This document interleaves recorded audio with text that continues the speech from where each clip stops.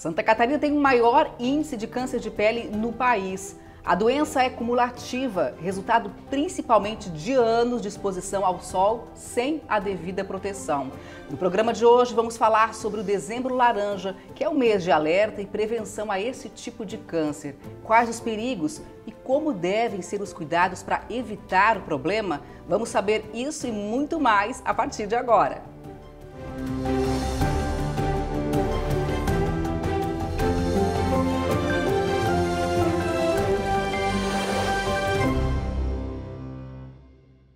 E a nossa entrevistada hoje é a doutora Silvia Schmidt, dermatologista e membro da Sociedade Brasileira de Dermatologia. Doutora Silvia, que prazer lhe receber aqui no Nosso Saúde, seja muito bem-vinda. O prazer é meu, sem dúvida. E que bom poder falar do câncer de pele nessa época, né? Que é a época que as pessoas menos se cuidam e acaba perdendo o juízo com os primeiros dias de sol. Doutora, e para começar, né? Santa Catarina tem o maior índice de câncer de pele no país. O que, que explica isso? Na verdade, é, tem muito a ver com a nossa colonização. As pessoas de pele mais clara, né, caracteristicamente o estado todo, é, principalmente o Vale do Itajaí, Blumenau, Brusque, a gente vê que, que o pessoal lá é mais claro. E as nossas características climáticas, a gente tem os invernos e os verões bem definidos. Isso é um problema também para a nossa pele, porque a gente passa quatro, seis meses se escondendo, e esse ano foi assim, foi um inverno frio, chuvoso, e agora, quando começa a dar os primeiros dias de sol, a gente vê no consultório muitos casos de queimadura. E essas queimaduras é que vão a longo prazo, como tu falasse, o efeito cumulativo, é, provocando, aumentando o risco do câncer de pele. É diferente do norte do nordeste, mesmo, principalmente no nordeste, que tem colonização holandesa, tem muita gente de pele clara lá, só que eles passam o ano todo se expondo. A pele vai ficando curtida. É diferente daqui. Aqui a gente passou quatro, seis meses se escondendo, né? Manga comprida. Sim, coberto, e aí de repente abre o sol Exatamente. e aí você quer se expor. E leva um torrão. Esses Sim. torrões é que são o maior risco para o câncer de pele. E no Nordeste as pessoas se expõem o ano todo. Então, naturalmente, já vão criando um pouquinho de defesa, porque a exposição ao sol provoca o bronzeado, que é desejado ainda, né? Mas mostra também que é um sinal de agressão à pele. O bronzeado existe para proteger. É, tem os prós e contras, né? Porque o bronzeado também a longo prazo vai, vai provocar um envelhecimento da pele, mas ele protege um pouquinho. Então, no Nordeste tem essa coisa, é raro que a pessoa Sim. leve um torrão. Aqui a gente vê toda a entrada de verão.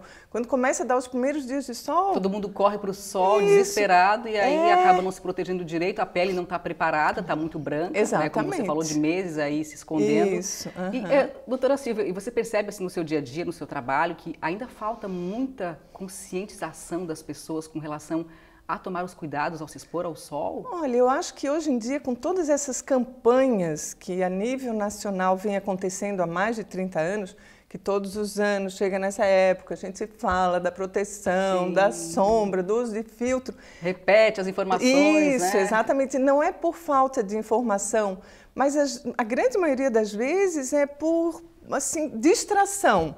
E quantas vezes não acontece que a gente, não, eu vou, só vou dar uma caminhadinha Sim. na beira-mar, não vai levar mais de meia hora. Volta roxa. Aí encontra alguém, bate papo, leva um torrão, né? Sim. E isso na praia, a mesma coisa. As pessoas, e é, aqui é muito mais fresco, tem o vento, né? Que ilude também. Então a pessoa está na praia, não está sentindo calor, o sol está ali torrando e está fresquinho, porque o vento está fresquinho, Sim. principalmente nesses primeiros dias né, do verão. E a gente estava falando, que Santa Catarina tem o maior índice de câncer de pele no país. E quais seriam as cidades com a maior incidência? Os, os, trabalhos que a gente tem a longo prazo, realmente, Blumenau é a cidade que tem a maior incidência, né? Até por... Descendente de alemão. Exatamente. Né? É. E eles têm Camboriú, né? Balneário Camboriú. A cidade fica vazia quando começa o verão e vai todo mundo para a praia, né? Então, é muito frequente esses casos de queimadura. E a gente sempre fala que é na infância que a gente vai plantar esse câncer de pele, porque as crianças ficam expostas muito mais do que os adultos.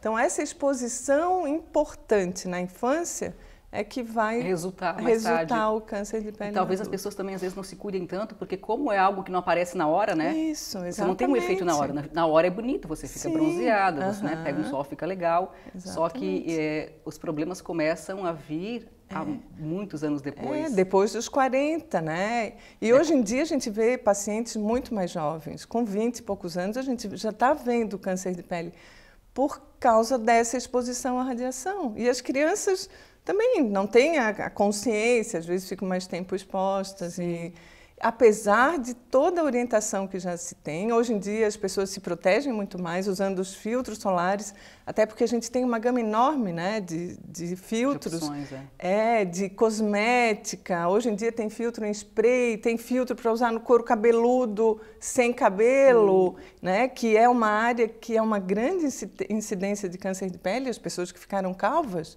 porque a, o couro cabeludo estava coberto e depois dos 30, 40 perdeu aquela cobertura. Sim. É uma área de grande incidência é. de câncer de pele.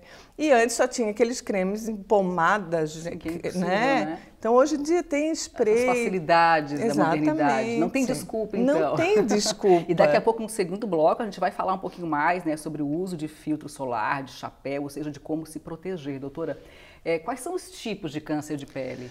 O principal e o mais frequente, primeiro assim, o câncer de pele é o câncer mais frequente do ser humano, tá? Isso é uma coisa até em decorrência de que a nossa pele é o nosso maior órgão. Às vezes as pessoas não se dão conta, mas a gente considera a pele como órgão, como cérebro, como coração, o rim, o fígado. Então é o maior órgão, consequentemente é onde a gente tem a maior incidência de câncer. O mais comum é o carcinoma basocelular, que graças a Deus é o mais indolente. Ele pode aparecer como uma feridinha, uma bolinha, uma bolinha que a gente descreve como perolácea, como se fosse um sinal. E às vezes a pessoa não se dá conta que depois dos 40 não é normal aparecer um novo sinal, né? E aí aquilo ali com certeza já tem alguma alteração. E por isso que é importante o autoexame, a pessoa se dá conta do que, que tem na superfície da pele e uma vez por ano, pelo menos, prestar atenção e se tiver alguma dúvida, procurar um dermato. Então, o, o, o baso celular é o mais comum, é o mais indolente e é o, que, é o câncer de pele que menos mata. Depois a gente tem o carcinoma espinocelular, que é também começa com uma feridinha, às vezes a impressão que dá é que é um eczema, é mais frequente, principalmente em áreas expostas, né? Pessoa que, pessoas que se expõem e trabalham ao ar livre são, tem muito mais frequência, então antebraço, rosto, colo e couro cabeludo. Esse é, e lábio, a, o maior risco do espino é quando ele dá nas, nas semimucosas, principalmente. Então, espino celular do lábio, às vezes a pessoa está com uma descamação labial, e acha que é normal que pelo ressecamento, mas passou de um mês, dois meses, é bom investigar, porque pode, esse é o que ele pode dar metástase, ele pode infiltrar, Evoluir, exatamente. E o mais grave é o melanoma, é a pinta preta, né? Esse que é o que tem alto índice de letalidade, graças a Deus é o menos incidente ele, entre os cânceres de pele, ele, ele, é, ele faz 3% só de incidência de câncer de pele, só que ele tem alto risco de, de morte, porque facilmente ele dá metástase, ele, ele vai para a circulação, pode ter metástase cerebral em outras áreas do corpo. Então, o, o principal na dermatologia, no, nos cânceres de pele, é o diagnóstico precoce todos esses tipos de cânceres, na hora que a gente tira no início, está resolvido. Tá resolvido. Não precisa fazer mais nada. Nem, nem quimioterapia, nem radioterapia. E hoje até existem pomadas, né? Que você pode fazer o tratamento de um câncer mais simples, com uma pomada, sem cirurgia. Exatamente. Uhum. E, e tem várias tecnologias para as lesões pré-cancerosas, isso que a gente estava falando, de, do couro cabeludo e dessa região do antebraço, é muito comum que apareçam as ceratoses actínicas. Ceratose actínica é uma lesão pré-cancerosa e que a gente trata com creme. né? E é um procedimento que a pessoa faz em casa, claro que incomoda um pouco, mas é o que a gente chama de tratar o campo de cancerização. Às vezes aparece uma lesãozinha, só que a gente pede para tratar tudo. E aí, além daquela lesão, aparecem outras, porque pessoa pegou sol igual naquela região, a gente não está vendo uma lesãozinha ali. Na hora que passa esses, que são quimioterápicos, Sim. na verdade, elas se manifestam. E desse jeito a gente já está fazendo uma prevenção, né?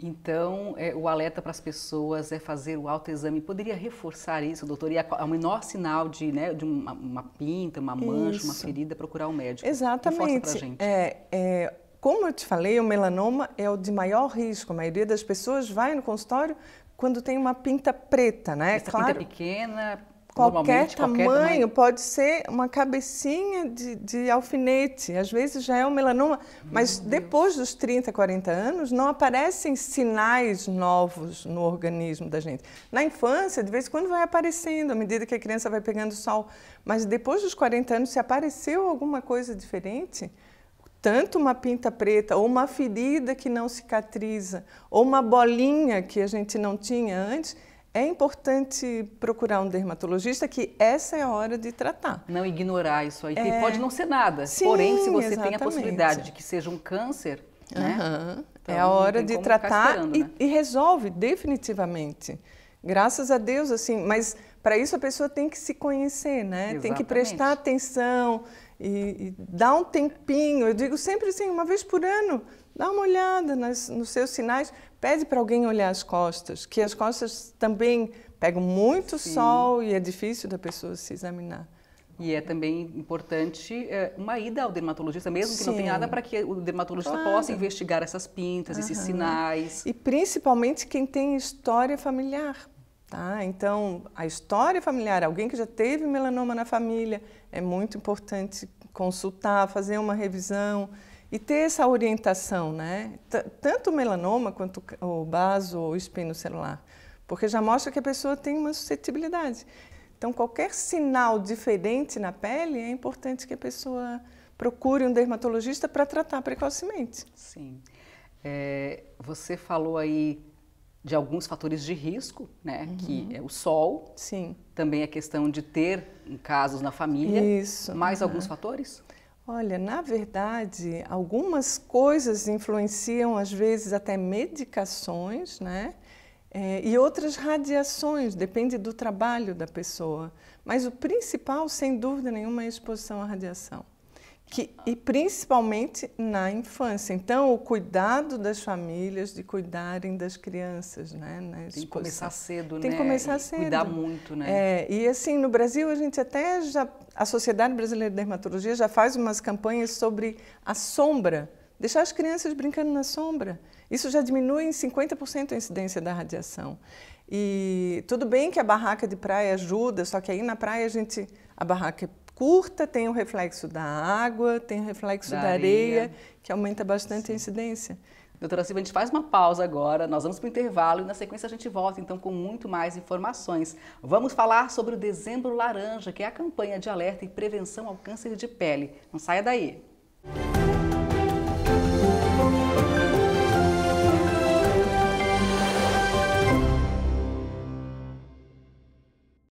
Estamos de volta com Nossa Saúde. A gente segue o nosso bate-papo hoje aqui com a doutora Silvia Schmidt falando sobre câncer de pele.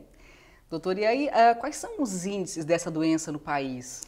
Olha, a gente tem é, publicado que no ano de 2021, no Brasil, a gente teve 177 mil novos casos de câncer de pele não melanoma.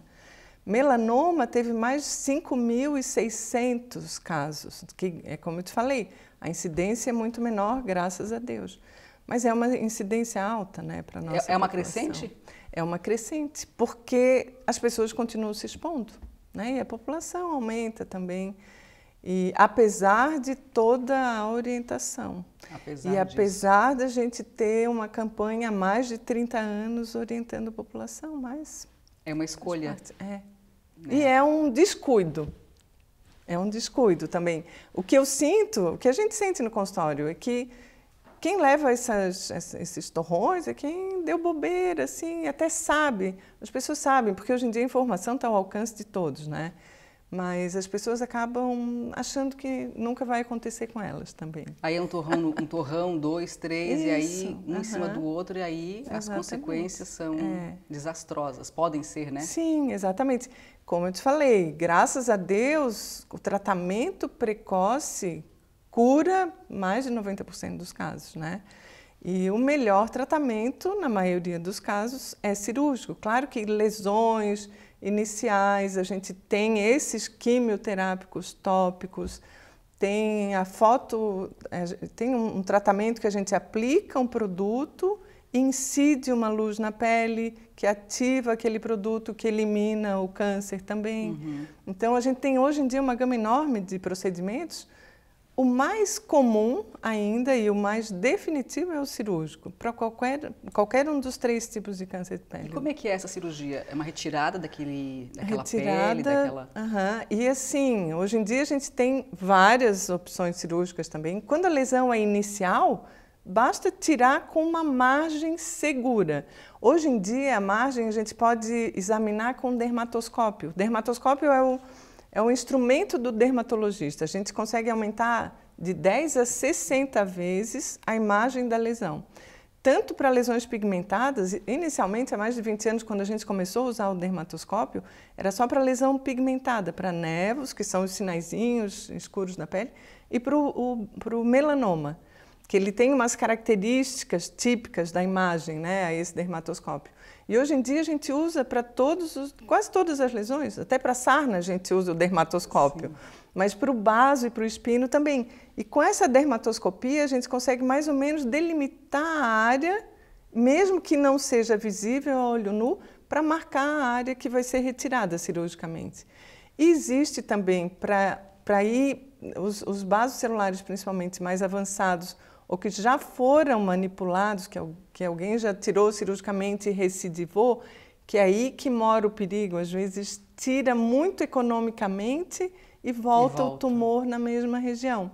E geralmente ele vem mais mexido assim, né? Ele acaba sendo um pouquinho mais agressivo do que a lesão inicial. E aí a gente acaba indicando a cirurgia micrográfica, não sei se já ouviu falar. Não. A cirurgia micrográfica faz esse mapeamento, identifica a margem, tira a mínima margem possível, mas no transoperatório o cirurgião já faz a biópsia, já faz o exame histológico. Olha. Então o paciente está lá com a lesão aberta e já acontece a biópsia. É uma cirurgia que Sim, leva um pouco mais de tempo. Daí ele poder de repente fazer uma intervenção maior. Isso, exatamente. Então nesse exame histológico na biópsia ele vai dizer as margens estão livres. E a margem é examinada 100%, diferente de uma biópsia, quando a gente manda, ah, eu fui lá, tirei o tumor, fechei e mandei para o laboratório. É, esse estudo nas biópsias normais não examina nenhum por cento das margens, para teres uma ideia, como é um negócio assim meio empírico. E na cirurgia micrográfica, a margem é examinada 100%. Se tiver algum ponto dessa margem acometido, o cirurgião volta para o paciente que está lá na sala, com a lesão aberta, e as margens estão marcadas, ele amplia só onde tem a, a infiltração ali, até e aí volta, estuda, faz a, de novo o congelamento, coloração e faz o exame histológico até a hora que não tem mais nada. Então, na hora que ele fecha, ele já sabe que não tem mais tumor ali. Então, para algumas áreas específicas, pálpebra, no rosto principalmente, Sim que a gente tem que economizar muito a pele por causa do claro. resultado estético, é a melhor cirurgia indicada. E às vezes, mesmo nas lesões primárias, quando a gente diagnostica o tumor na pálpebra, não tem como fazer uma margem de segurança, porque pode ficar inestético Sim. o resultado. Então, a cirurgia micrográfica, que já tem em Santa Catarina, vários colegas fazem, inclusive no Hospital Universitário, que foi implantado já há alguns Sim. anos. Isso que eu queria comentar, né? É, de repente, a pessoa em casa ela não tem condições de pagar um dermatologista, não tem condições uhum. de pagar um tratamento, ela pode, com certeza, se, é, se dirigir aos centros de saúde Sim. que estão preparados para esse atendimento, né, Exatamente. né, doutora? É. E Santa Catarina tem um serviço de telemedicina, principalmente na dermatologia, que funciona muito bem já há anos foi implantado. Então, em qualquer lugar do estado, na verdade, Sim. o paciente pode consultar Com a teledermatologia, hoje em dia, principalmente depois da pandemia, tudo facilitou. Com certeza. E o paciente pode ser referendado para os serviços que têm essa cirurgia Sim. especificamente.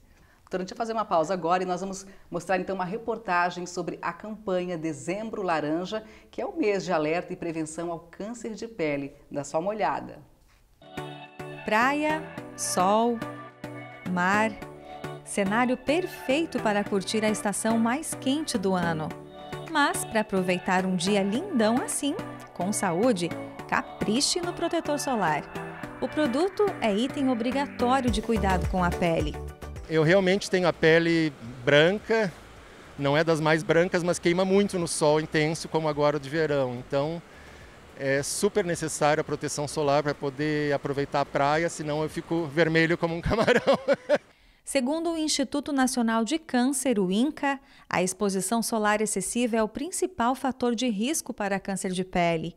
E para chamar a atenção da população sobre a necessidade de se proteger, a Sociedade Brasileira de Dermatologia e as sociedades nos estados desenvolvem todo ano a campanha Dezembro Laranja. Não espere até sentir na pele. É a mensagem central da campanha de 2022. Sociedade Brasileira de Dermatologia busca nesse mês, assim como em todos os outros meses, aumentar a conscientização quanto aos riscos da exposição solar prolongada, da exposição solar intensa e a detecção precoce do câncer de pele. Como? Você percebendo seus sinais na pele que possam ser suspeitos e visite o seu dermatologista, visite o seu médico, faça o seu exame dermatológico completo em relação ao rastreamento. Nesse mês todo, nós teremos vários é, boletins informativos sobre como se proteger, os riscos do raio ultravioleta, os riscos da exposição desprotegida, como fazer essa proteção de forma adequada e vários outros posts educativos que você pode acompanhar, inclusive, no, nas redes sociais da Sociedade Brasileira de Dermatologia. A iniciativa já faz parte do Calendário Nacional da Saúde e ocorre desde 2014. A edição de 2022 coloca no centro dos debates os trabalhadores urbanos e rurais que estão diariamente expostos aos raios solares. Pessoas como Lucas, que trabalha de sol a sol, literalmente. É difícil, é difícil. Às vezes nem o protetor dá conta, às vezes entra na água também.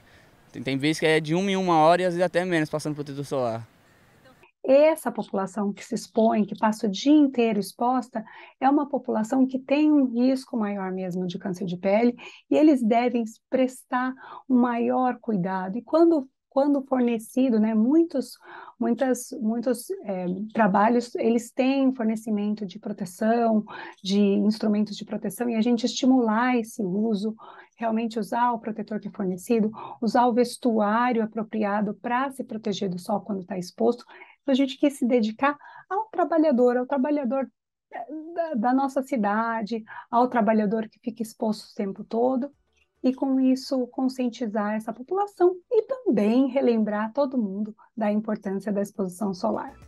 Ficou alerta! Seja por trabalho ou lazer, ao se expor ao sol, cuide-se. Eu me cuido, passo, tento passar de meia, meia hora, uma hora, né, para não torrar tanto, ainda mais como eu tenho tatuagem também e tal. É bom sempre estar cuidando da pele, a gente pega sol de até 30 graus para cima, às vezes até menos, mas dependendo do vento, às vezes não acaba nem sentindo, né? Por conta do vento e tal, mas o mormaço pega, pega bonito.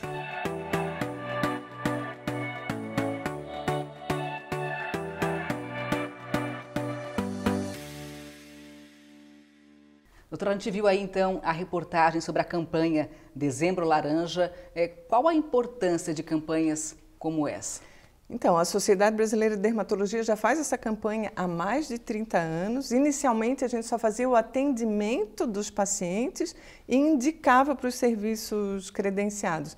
Hoje em dia, a maioria dos atendimentos já diagnostica e trata, eles conseguem resolver cirurgicamente. Então, é uma oportunidade para quem não tem uma condição legal, não tem um plano de saúde, para ir lá tirar as suas dúvidas. É um dia inteiro de atendimento, é bem interessante. Vale a pena aproveitar é, essas oportunidades, né? exatamente. Né? Além do que, é, é uma campanha que leva informação e a informação é Sim. é sempre uma arma importante né? no combate de qualquer doença. É, exatamente. Então, além do diagnóstico, sem dúvida, os colegas são todos membros da sociedade que atendem atendem e os residentes dos nossos serviços credenciados aqui em Santa Catarina que fazem essa orientação, principalmente a, a proteção, né, o uso de filtros solares adequados para o seu tipo de pele e evitar os horários de maior radiação Sim. Que aumentam o é. risco é, das queimaduras. Né? Justamente isso. Agora a gente vai entrar na questão da prevenção que é tão importante. Por mais que a gente às vezes já saiba, já tenha ouvido várias vezes, nunca é demais repetir e reforçar, né, doutora? Uhum. Então, para as pessoas que estão nos assistindo, quais são os cuidados fundamentais antes de se expor ao sol? É, o ideal é que se aplique o filtro solar antes de sair de casa, né? E sempre um, um, fator de proteção acima de 30. Se a pessoa vai para a praia, sabe que vai ficar mais tempo exposta, o ideal é que seja acima de 30. Hoje em dia a gente já tem filtros 100. Então, depende da coloração da sua pele, da sua sensibilidade, lançar mão desses filtros mais poderosos.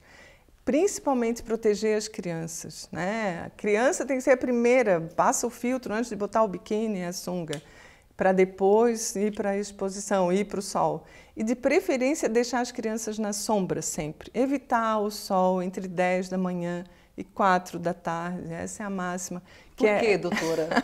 Acho que todo mundo já sabe, mas não custa, Isso, né? Que é, que é a hora de maior incidência da radiação ultravioleta B, que é a que causa o câncer de pele, que faz as alterações. A gente tem radiação ultravioleta A durante o dia inteiro, desde a hora que o sol nasce até a hora que o sol se põe. Esse UVA é o que provoca o, bronzeamento, só que, consequentemente, as rugas também. O VB uhum. é o que faz mais as queimaduras e que, e que faz a alteração do DNA e o câncer de pele. Então, pelo menos nesse horário de maior incidência do VB, a gente tenta orientar que vá para a sombra. A sombra, tanto na barraca, ou então vai para um barzinho, ou evita de ir à praia nesse horário, principalmente Sim. com crianças, diminui bastante a, a, essa incidência da radiação UVB, que é o maior assim, perigo, né? Perigo, exatamente. Agora, não é só na hora de ir para a praia também, né? Na hora, até mesmo para ir para o colégio, Sim, né? no dia a dia, nas brincadeiras do dia a dia. É. Ou seja, protetor solar é para o uso né? diário, inverno e verão, exatamente. E as crianças que são muito clarinhas, que são ruivas, que têm sarda, o ideal é que a gente se habitue a usar diariamente, né? Mesmo na infância, já a partir da infância, para criar o hábito. E a gente vê que muita gente já está habituando Sim. e as crianças sentem falta. Sim. Né? E aí, aliados também chapéu, boné. Chapéu, roupa. Hoje em dia a gente tem as roupas com filtro solar. A gente tem visto muita criança vestidinha com as Sim, roupas de falta é de proteção. Legal, isso realmente Isso é protege. é excelente, porque a maioria das crianças não tem paciência para reaplicar o filtro na praia. Né? O ideal é que elas saiam de casa com filtro e na hora de reaplicar, se não quiser, bota a camisetinha, bota o chapéu, proteja as orelhas, que a orelha também é uma área de, de grande incidência de câncer de pele. E o menininho, e na praia, a criança está sempre com a orelha para fora. Isso não é para agora, isso é para depois que eles tiverem 40, 50 sim, anos, né? Sim, exatamente. E a gente já tem muita roupa nas lojas de esporte, a gente já tem muita opção para vestir as crianças e os adultos também, né? Doutor, infelizmente o nosso tempo está encerrando, mas eu gostaria que você deixasse aí um alerta, fizesse as suas considerações finais, por favor. Olha, a gente tem o Sol, que é o nosso astro, rei maravilhoso, o negócio é saber usar. Todo mundo adora o verão e a gente não vai deixar ainda mais Santa Catarina nessa época, o nosso litoral é maravilhoso, então, use o sol de maneira segura, use filtro solar, evite os horários de maior incidência e aproveite o verão.